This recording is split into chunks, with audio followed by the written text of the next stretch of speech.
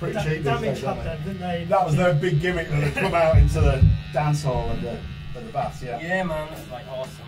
In 1989. Yeah. But you know, those guys, Rick Stockton and uh, Stuart Capeland commented on our video.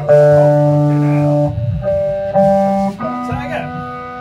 Uh, Stuart Capeland and Rick Stockton, they've seen the Mojo. Practice. recent. Yeah, the, up to them, certainly the gig. I'm not going to sing this one. Um, Right, we're, gonna, we're recording. Oh, oh, one! Okay.